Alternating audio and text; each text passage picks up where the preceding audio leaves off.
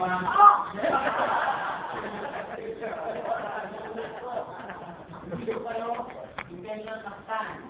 ko lang makita, naramdaman